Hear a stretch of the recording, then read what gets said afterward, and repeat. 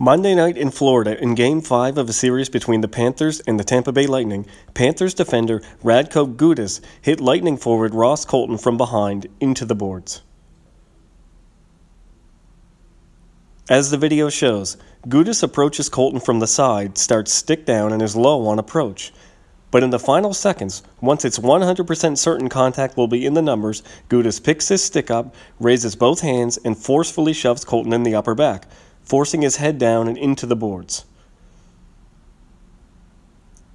This is boarding. Worse, Gudas has to make a significant directional change to do it.